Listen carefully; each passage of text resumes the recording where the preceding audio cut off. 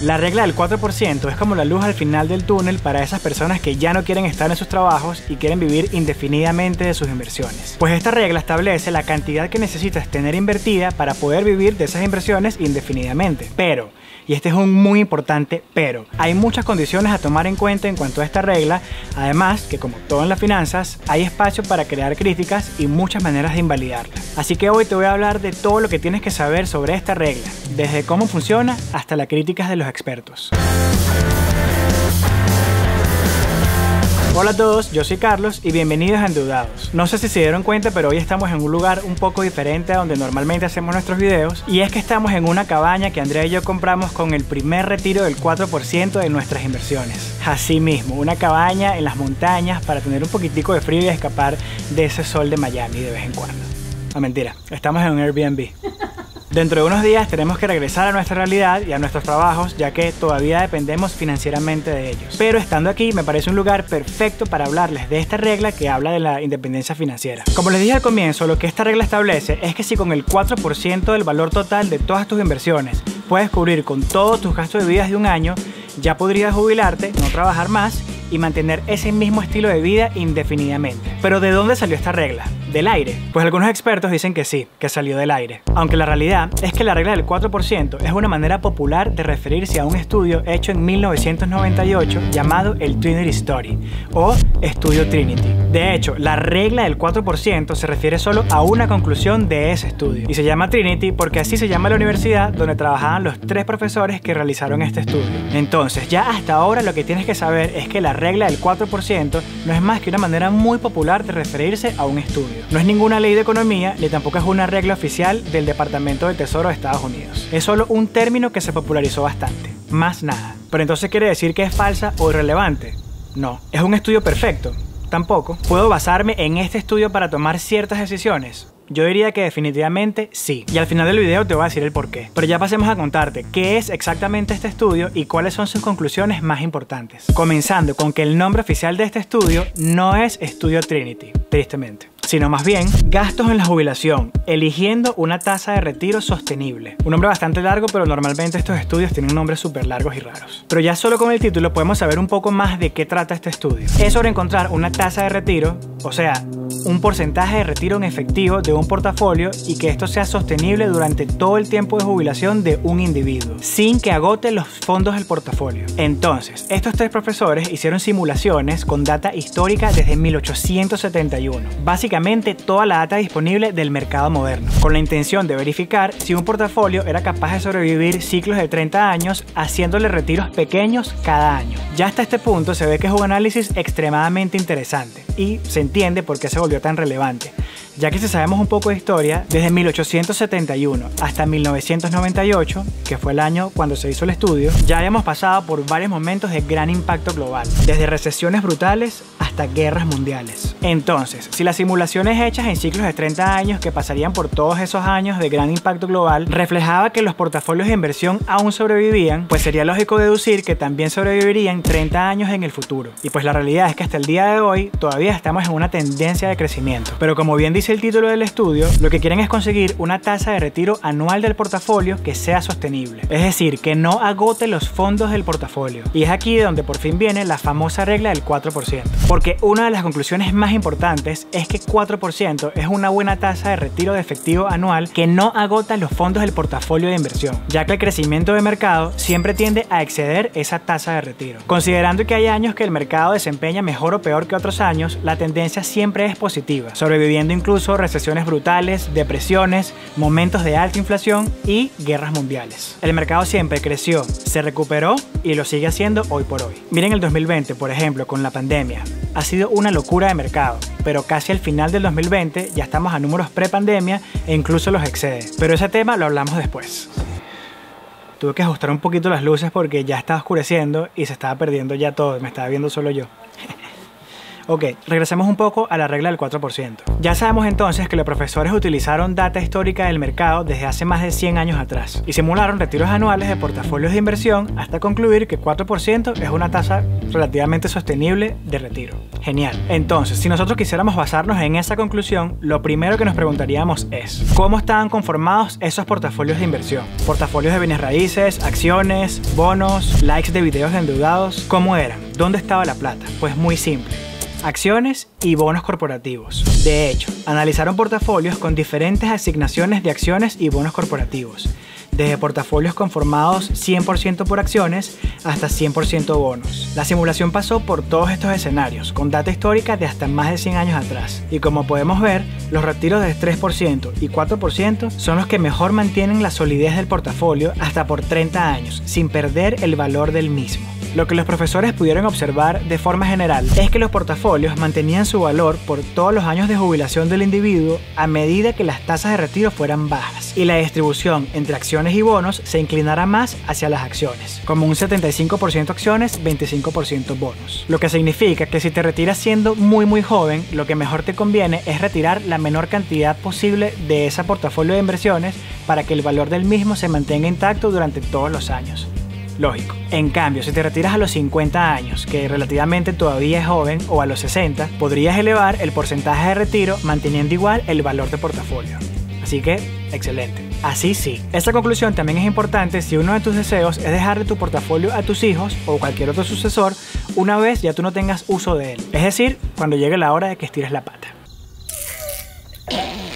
La conclusión del estudio es que los inversores que deseen recibir pagos prolongados deberán elegir una asignación de activos de al menos 50% acciones y realizar la menor cantidad de retiros efectivos. Por el contrario, una tasa de retiro más alta parece ser sostenible para periodos de pagos más cortos como 15 o 20 años, siempre que el portafolio tenga por lo menos un 50% acciones y siempre ajustando la tasa de retiro a la tasa de inflación del año en cual se hace dicho retiro. Y finalmente, las tasas de retiros más bajas, de 3 o 4%, recomendada por todos los analistas, parece ser extremadamente conservadoras para esos portafolios con por lo menos 50% acciones y con esos inversionistas que su deseo es dejar una porción sustancial de la cartera para sus herederos. Ahora, dado que la elección de una tasa de retiro implica, número 1, la preferencia del individuo por el consumo actual, número 2, la incertidumbre de la esperanza de vida y número 3, las necesidades financieras variables. No existe una tasa de retiro que sea óptima. Por ende, cada inversor tiene la tarea de determinar el equilibrio entre el riesgo de quedarse sin fondos en su portafolio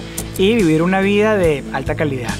Esto antes de retirarse determinar ese equilibrio antes de decidir retirarse. Y el análisis final, que es el más importante, es que la elección de una tasa de retiro dentro de un rango razonable es una decisión extremadamente personal. Requiere de decisiones muy personales que normalmente van más allá del análisis de un financiero. Y es aquí donde nace coloquialmente la regla del 4%. Como dije al comienzo, esto es solo una manera de referirse a una de las conclusiones de este estudio. Pero entonces, ¿por qué hay tantos expertos financieros que critican este estudio y específicamente esta regla del 4%? Para dejar todo claro, nadie critica la data que se usó, pues los datos son los datos, ni tampoco los escenarios en que se realizaron las simulaciones, ni tampoco las conclusiones. Todas son conclusiones lógicas basadas en experiencias del pasado. El problema es justamente con la regla del 4%. Muchos expertos piensan que la manera en que se realizan estos retiros efectivos es completamente irracional y financieramente ineficiente, ya que la estrategia depende que el individuo mantenga un estilo de vida completamente constante mientras mantiene un portafolio de inversiones completamente volátil. Y como consecuencia, estos individuos que ya están jubilados no pueden gastar excedentes que se acumularon cuando el mercado desempeñó alto, pero sí se ven enfrentados a un déficit cuando el mercado desempeñó bajo. Les explico. Uno de los puntos más importantes a aclarar sobre esta regla del 4% es que ese retiro del 4% se calcula únicamente el primer año de retiro, es decir, el año en que decidiste no trabajar más. Todos los años siguientes no se retira ese 4%, sino más bien el mismo monto que se retiró el primer año más el ajuste de la inflación. Es decir, supongamos que llegaste tu portafolio de inversiones a un millón de dólares y ese año decidiste no trabajar más y vivir de tus inversiones haces el retiro del 4%, que te daría 40 mil dólares para vivir todo el año, y el balance de tu portafolio bajaría a 960 mil dólares. Pasa todo el año, ya gastaste los 40 mil y estás listo para hacer otro retiro de tu portafolio. Imaginemos que el mercado mantuvo un desempeño promedio y subió un 10%. Tu balance ese año pasó de 960 mil a 1.056.000 dólares.